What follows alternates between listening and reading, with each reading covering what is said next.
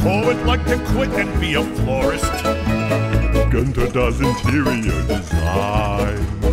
Ulf is into mine. Attila's cupcakes are sublime. Bruiser knits, killer souls, and his little puppet shows. And Vladimir collects ceramic gear.